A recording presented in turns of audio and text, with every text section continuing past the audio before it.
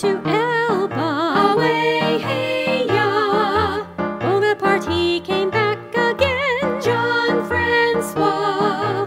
Bonaparte went to Waterloo. Away, hey, ya!